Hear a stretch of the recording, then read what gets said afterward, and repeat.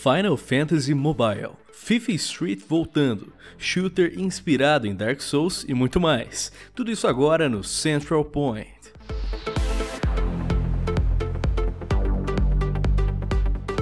A Gamescom 2017 começou e com ela muitas novidades. Dentre elas, a Square Enix revelou que uma nova versão de Final Fantasy XV está sendo trabalhada para dispositivos mobile e será com um visual bem fofinho. Será uma recriação do título para consoles, só que desta vez com os personagens cabeçudinhos dignos de você soltar um kawaii desu. Final Fantasy XV Pocket Edition permitirá players reviverem os principais elementos do título. Apesar do visual mais simples, as vozes, mecânicas de combates, cozinha e viagem mantêm-se da mesma forma. Além do iOS e Android, o PC também vai poder receber o jogo, com previsão de lançamento para a primavera no Hemisfério Sul. A experiência em geral vai ser paga, mas o primeiro capítulo será gratuito. A Square Enix não divulgou o valor a ser cobrado pelo game. E aí fica a questão: será que ele vai ser caro? Vamos descobrir em breve. A Ubisoft revelou um trailer fresquinho de Mario Plus Rabbids Kingdoms Battle, e agora focando na personalidade e habilidades especiais de Rabbit Peach, uma das personagens jogáveis do título. Rabbit Peach tem ênfase em suporte, sendo capaz de curar parceiros próximos ou criar barreiras que inibem danos de armas. Também conta com um explosivo que persegue o adversário e uma rasteira que pode atingir muitos inimigos. Mario Plus Rabbids Kingdoms Battle lança em 29 de agosto para o Nintendo Switch. Um vídeo que supostamente foi registrado na Gamescom 2017 mostra que FIFA 18 pode vir a trazer de volta o FIFA Street ao universo dos games. A antiga franquia que era desenvolvida pela EA Big tinha um esporte em um universo mais descontraído, sem o uso de regras tão rígidas e tendo mais foco em uso de dribles complexos. O vídeo foi registrado pelo usuário do Twitter AlgecYY, que postou que pode ser o novo modo sendo jogado no espaço da Electronic Arts durante o evento. Se de fato for real, isso significa que a EA Sports finalmente atendeu tantos pedidos de fãs loucos pela volta de FIFA Street. Esperamos que a empresa anuncie oficialmente retorno ou não. The Crew 2 finalmente recebeu uma data de lançamento oficial pela Ubisoft, com um novo trailer divulgado, que é 16 de março de 2018. The Crew 2 segue com um plano muito mais ambicioso que o primeiro título, tendo foco em mostrar diversas corridas que poderão ocorrer em rios, ruas ou até mesmo no céu. É possível que a Ubisoft tenha aprendido com seus erros e trará um game mais polido e focado na experiência arcade. The Crew 2 lança em 16 de março de 2018 para o Xbox One, PlayStation 4 e PC. Já havíamos falado recentemente sobre um dos novos personagens a se juntarem aos heróis de Marvel vs Capcom Infinite, e dessa vez Ghost Rider e Firebrand terão os vilões Jeddah Delmar e Dormammu, que vieram barganhar para ganhar atenção no novo trailer. O vídeo contém os lutadores demonstrando seus poderes em gameplay e alguns de seus combos, no cenário que seria a Dark Dimension, que seria a fusão da Dark Dimension da Marvel e do Makai Kingdom, com portais bizarros, monstros sinistros e fendas que definitivamente você não queria estar lá brincando. Marvel vs Capcom Infinite lança em 29 de setembro para o PlayStation 4, Xbox One e PC. A Toadman Interactive revelou seu mais novo projeto, intitulado como Immortal Unchained. Trata-se de um shooter que aparenta ser em terceira pessoa, tendo como destaque diversos elementos de influência de Dark Souls, o que é bem inusitado para um game de tiro.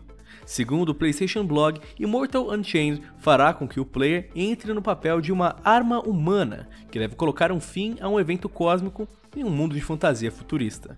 Caso esse evento seja realizado, terá uma velha história de muita destruição, que é aquilo que o protagonista tem de impedir. Contudo, o destaque principal seria a escolha de armas, que em vez de serem armas de fogo, serão espadas e escudos. Segundo as informações reveladas, o gênero é de ação de tiro, mas não se trata de um Call of Duty ou algo do tipo. Além de que os confrontos serão de curta a média distância, com foco em esquivas, grandes dificuldades e penalidades caso você morra. Immortal Unchained não tem data de lançamento, mas deve chegar para o PlayStation 4 e Xbox One, além do PC, em 2018. Fãs de figuras cabeçudinhas, preparem seus bolsos. A Funko Pop fez uma parceria com a Valve que rendeu alguns colecionáveis de Portal e também de Team Fortress 2. No caso de Team Fortress 2, o time não está completo e foram revelados apenas um Scout, um Heavy e um Medic, porém é provável que os demais sejam anunciados em breve. Para Portal foi revelado Turret, Peabody, Atlas e a querida Chell. Todos os colecionáveis serão lançados em outubro. Melhor começar a encher o cofrinho, pessoal, porque esses colecionáveis estão demais. Alguém aí lembra de Braid? Aquele jogo que te permitia retroceder no tempo caso alguma coisa desse errado? Pois bem, o SNS Mini terá justamente essa função que irá te permitir voltar no tempo de todos os jogos do catálogo. Ok, está certo de que essa função não é lá tão funcional como é para o jogo citado na data de início dessa notícia, mas ainda é uma opção bastante inusitada. O tempo de rebobinar é definido jogo por jogo pelo console. Alguns jogos poderão ser rebobinados alguns minutos, enquanto alguns outros apenas alguns segundos. Segundos ou minutos, e Stephen Strange ajudou a barganhar essa função. Dormamos! Eu vim barganhar! Fãs de Gran Turismo segurem as carteiras que uma edição limitada do PlayStation 4 está vindo com a temática do game automobilístico anunciado. A edição terá como base um modelo Slim do console. Infelizmente, só estará disponível para o Reino Unido, Austrália e alguns territórios selecionados da Europa. O console terá um HD de 1TB, terá cor cinza com um logo do game em destaque. Também terá um DualShock 4 customizado com a temática e também uma versão dia 1 do game, com direito a 60 avatares para uso na PSN e 250 mil créditos, além de um capacete cromado. Não há indícios da edição chegar por essas bandas americanas, o que vai ser mais difícil ainda para o público brasileiro ter acesso a essa belezinha. Hashtag todos nós choramos, não é não?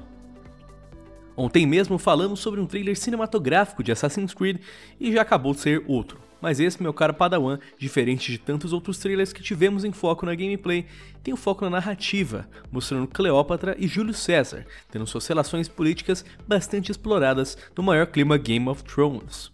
Com este vídeo é perceptível sobre o que teremos como trama geral do título, além do papel de Bayek nesse jogo de poder político do Egito e de Roma.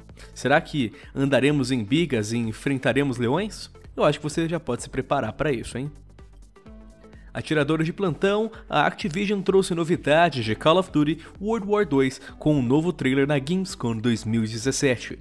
O vídeo apresenta o novo modo Headquarters, que é aquele espaço social que comentamos há um tempo atrás aqui no Central Point.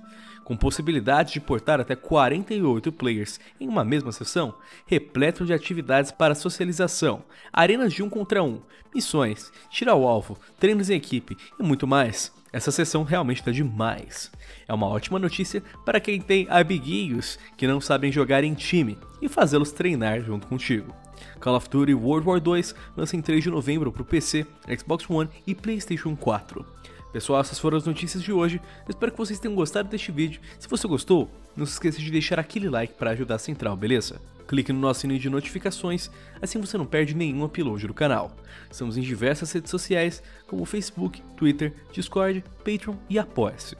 Pessoal que foi lá, é um muito obrigado pela sua atenção, pela sua paciência. Espero que vocês tenham um ótimo dia e uma boa sorte nos campos de batalha. Até mais!